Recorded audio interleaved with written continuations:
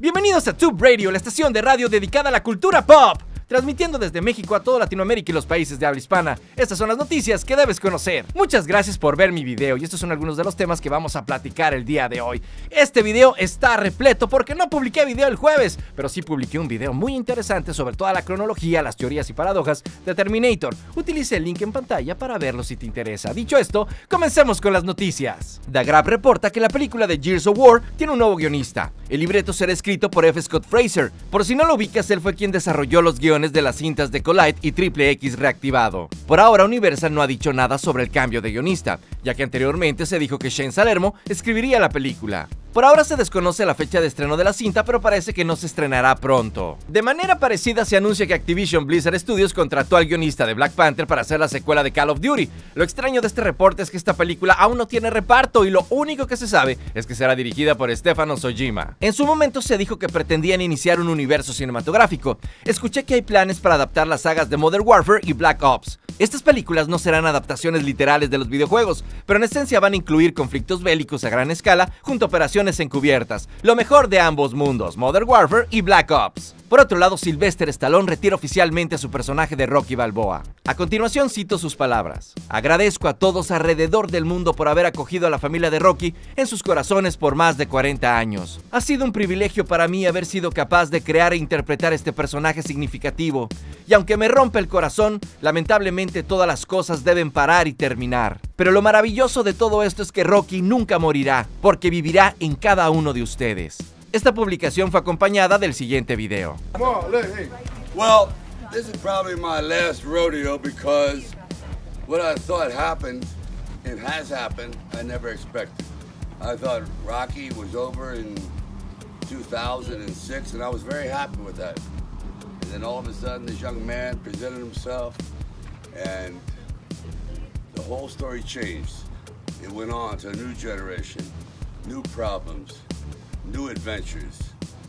And I couldn't be happier because as I step back, as my story has been told, there's a whole new world that's going to be opening up for the audience, for this generation. And thank you very much, Stephen, and definitely you, Michael, for making that possible. Now you have to carry the mantle. There it is. We love that.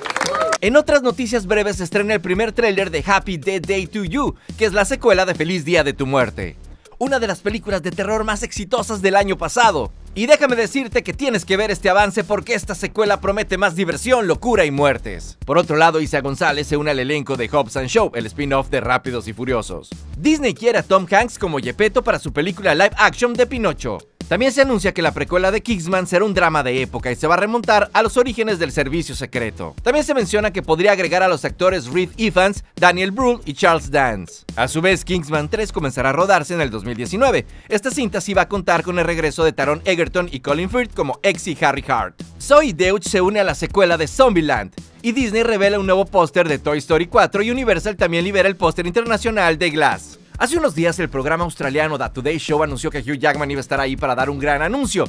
Inmediatamente miles de fans especularon que este anuncio podría tratarse de su regreso a la franquicia de los X-Men para aparecer una vez más como Wolverine en el crossover con Deadpool. Lamentablemente su anuncio no tuvo nada que ver con estas especulaciones. Jackman anunció que va a retomar su show de Broadway para hacer una gira internacional en varias ciudades. En el show Jackman va a interpretar algunos de los temas musicales de sus películas como Oklahoma, Los Miserables, The Boy From Oz y El Gran Showman. Por otro lado, se acabó noviembre y no tuvimos de Vengadores 4 y esto ya empieza a desesperar a todos los fans que esperan este avance. De hecho, el fandom está muy inquieto y continúan las peticiones para que se publique ya, pero parece que Marvel solamente está jugando con nuestras ilusiones. Se pensaba que este tráiler llegaría esta semana porque iba a haber un evento especial donde se iba a mostrar nuevamente la película de Infinity War, pero no sucedió. Los hermanos rusos se negaron a hablar del tráiler, pero en la ronda de preguntas y respuestas resolvieron algunas dudas. Para empezar les preguntaron si Loki se había disfrazado de Bruce Banner, a lo que contestaron no, Loki está muerto, al igual que Vision. También desmintieron las teorías que aseguraban que Thanos no era tan fuerte como se creía, porque su poder provenía de las gemas. Sin embargo, explicaron que para vencer a Hulk no usó ninguna gema. Por lo tanto, ganó porque fue más preciso y pensó con la cabeza fría en lugar de atacar por venganza. Respecto a qué planeta fue Thanos al final de la película,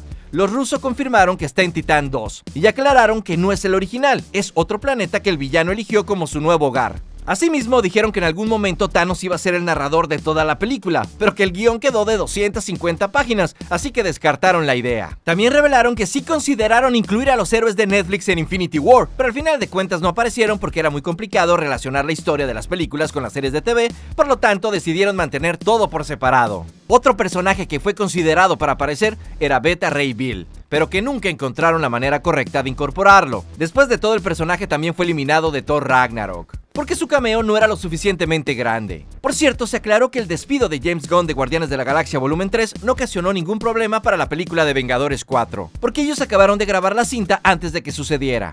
De igual forma explicaron por qué no grabaron Infinity War y Vengadores 4 al mismo tiempo. La razón de esto es porque ambas historias se volvieron demasiado complejas y prefirieron tratarlas de forma separada porque eran dos películas muy diferentes. La decisión se tomó cuando el equipo de producción comenzó a confundirse sobre qué escena iba en qué película. Aprovecho para comentarte que a principios de semana Joe Russo aseguró que no importa lo que Chris Evans diga, su papel como el Capitán América no ha terminado. Y dijo que no lo iba a explicar porque muy pronto vamos a entender de qué está hablando. Esto podría estar conectado con la noticia de que se van a tomar un descanso del género de superhéroes hasta que les ofrezcan adaptar Secret Wars. ¿Acaso está insinuando que Chris Evans va a retomar su papel como el Capitán América si esta película se hace? No lo sé, pero sería espectacular. Porque esta película sería mucho más grande que Infinity War y Vengadores 4, porque necesitaría más superhéroes. Esta adaptación cada vez se hace más posible con la llegada de los X-Men al universo cinematográfico de Marvel. A propósito, se rumora que los Eternos podrían aparecer en la escena postcréditos de Vengadores 4. Según Super Bro Movies, Marvel ya comenzó a buscar a los actores que van a interpretar a estos personajes. Se menciona que podríamos ver un cameo de Karen y Piper Sprite. Tras la reciente cancelación de Luke Cage y Iron Fist, Netflix anuncia que Daredevil es cancelada después de tres temporadas. Esto ya fue confirmado, Daredevil no regresará para una cuarta temporada. Los showrunners de la serie declararon que están tremendamente orgullosos de la última temporada, y aunque sea doloroso para los fans, sienten que lo mejor es despedirse de esta ficción mientras está en la cumbre. También agregaron que se sienten muy agradecidos con los fans que nunca dejaron de apoyar a la serie a lo largo de estos años. Tras la abrupta cancelación, Marvel comparte un comunicado donde promete que Daredevil regresará con más aventuras en el futuro. Obviamente esto tiene furiosos a todos los fans y han amenazado con cancelar sus cuentas de Netflix. Hasta el momento en que grabé este video, solo Vincent Donofrio y Deborah Ann Wall han reaccionado a la cancelación de la serie. Donofrio escribió el siguiente mensaje: Daredevil cancelada.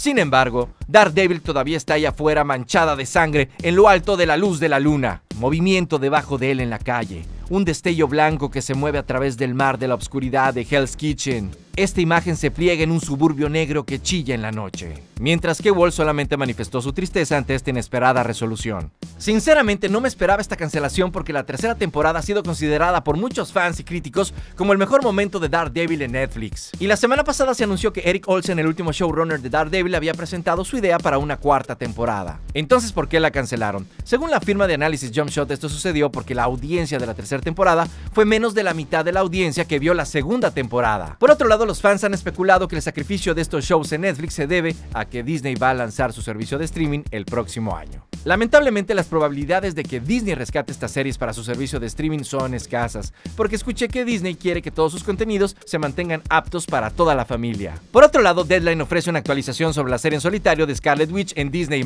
Antes de compartírtelo, tengo que aclararte que este no es un anuncio oficial de Disney o Marvel, así que es posible que se trate de un rumor. Según Deadline, la serie se va a llamar Vision and the Scarlet Witch. Si esto llega a ser cierto, coincidiría con los rumores que afirman que Paul Bettany repetiría su papel como visión en la serie. Continuando con más noticias de superhéroes, te comparto que Margot Robbie espera introducir a Poison Ivy en futuras películas. Ella comentó que le encanta la relación íntima que tienen estos personajes, ya que en algunos cómics expresan su cariño como una amistad y en otros se nota que son una pareja. Por lo tanto, le encantaría que Poison Ivy saliera en este universo, y aseguró que planea explorar su relación en pantalla. Respecto a quién podría encarnar al personaje, dijo que lo ha estado pensando, pero que por el momento no se le ha ocurrido nadie. Por otro lado, Dagrap anunció que DC Warner está desarrollando una película de Blue Beetle. Escuché que la cinta tendrá un latino como protagonista, porque planean centrarse en la versión del escarabajo azul de Jaime Reyes. El mexicano Garrett Donet Alcocer se va a encargar del guion de la cinta. Entre sus más recientes trabajos se encuentran los guiones de Scarface y el remake de Miss Bala. Cabe destacar que esta será la primera película de superhéroes con un protagonista hispano.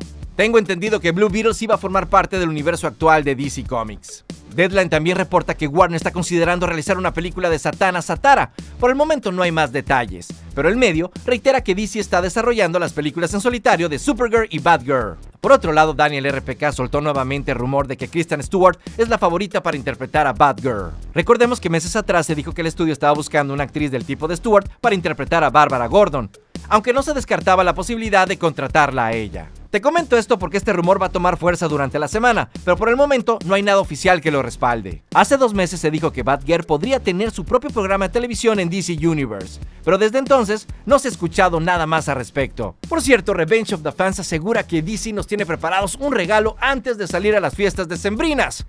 Por el momento se desconoce qué es, pero se especula que podría ser un tráiler o un gran anuncio. ¿Qué crees que sea? Entrando al universo de la series, te comparto que el final de mitad de temporada de Walking Dead es oficialmente el final más bajo en la historia de la serie. Los ratings de esta temporada han ido en picada, pero aún así la serie se mantiene como el programa de cable con mayor audiencia del domingo por la noche. Otra noticia relacionada con el mundo de Walking Dead es que Skybound Books va a publicar una nueva novela de este universo que se va a ambientar en China, donde veremos a un grupo de sobrevivientes enfrentarse a los caminantes en el país más poblado del mundo. Por cierto, había olvidado contarte que la demanda del templo satánico contra la serie de Sabrina se ha resuelto amistosamente. Recordemos que esta demanda era por 50 millones de dólares. Por lo pronto no se menciona si llegaron a un acuerdo monetario o no. Por su parte, el templo dijo que el problema se había resuelto ya que los elementos de la estatua de Baphomet han sido reconocidos en los créditos de los episodios en los que apareció. Así que podemos decir que Netflix hizo un pacto con los seguidores de Lucifer para poder seguir utilizando a su deidad. Por lo pronto volveremos a ver a Sabrina en su especial de Navidad que va a llegar a Netflix el 14 de diciembre. Por cierto, McKenna Grace será Sabrina de niña en el especial de Navidad. A su vez, Alexis Denisov y Jedida Goodgrace formarán parte del especial de Navidad y de la segunda temporada. En otras noticias breves muere Stephen Hildenburg, creador de Bob Esponja a los 57 años. Por otro lado, Disney lanza el canal de Star Wars Kids en YouTube, y su primer show será una serie animada de corte educativo llamado Star Wars Galaxy of Adventures. La serie de cortos ya está disponible fueron diseñados para introducir a la Guerra de las Galaxias a una nueva generación de jóvenes fanáticos. Un tráiler divulgado el miércoles muestra a la princesa Leia, a Luke Skywalker, a Han Solo, a Chewbacca, a Arturitu, a C-3PO, a Obi-Wan Kenobi, a Darth Vader y a muchos más. Y en el mundo del manga y anime se anuncia que Cowboy Bebop tendrá una serie live action en Netflix de 10 episodios. Por si no lo sabías, Cowboy Bebop nos muestra la historia de un equipo de cazarrecompensas que se escapa de sus respectivos pasados mientras persiguen a los criminales más peligrosos del sistema solar.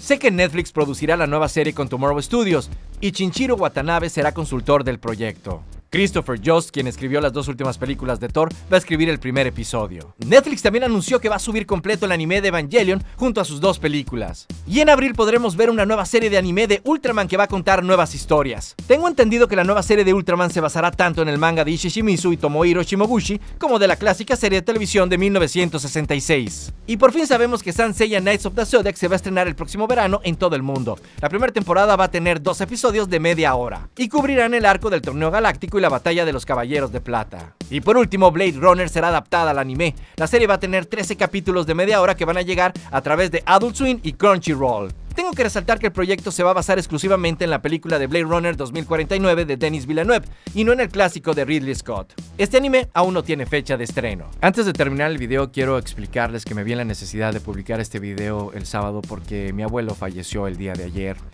y tengo que estar con mi familia. Pero quise hacer este video para honrar su memoria porque si algo me enseñó es que cualquier cosa se puede lograr con dedicación, constancia y trabajo. Y él siempre me decía, trabaja, mijo, trabaja. Me decía, trabaja, sigue trabajando. Y sus últimas palabras, lo último que me dijo fue, sigue trabajando, conquista tu sueño, sigue, no te rindas. Entonces, con su permiso, quiero dedicar este video en su memoria y decirle que todo lo que me enseñó siempre va a estar aquí y en mi corazón y con los ideales mis ideales. Una disculpa por compartir esto con ustedes, pero para mí ustedes son parte de mi familia.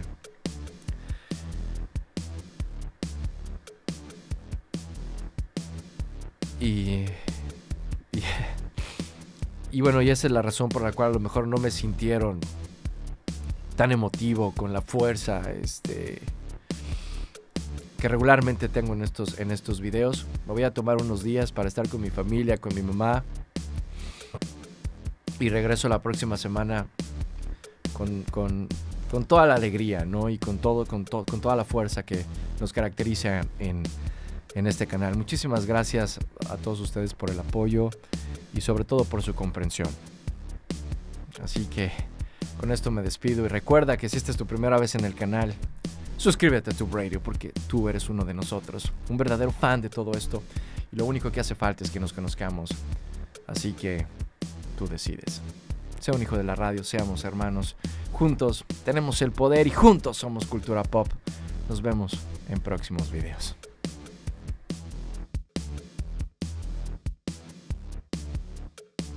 Muchas gracias por quedarte a nuestra cena después de créditos. Ya ha llegado el momento de invocar a nuestro gran oráculo, la gran bola 8 que ve más allá de lo evidente y que nunca se equivoca. Y la pregunta de este video es, oh gran oráculo que ves más allá de lo evidente, Disney rescatará la serie de Daredevil en su servicio de streaming. Y la respuesta de nuestro gran oráculo es...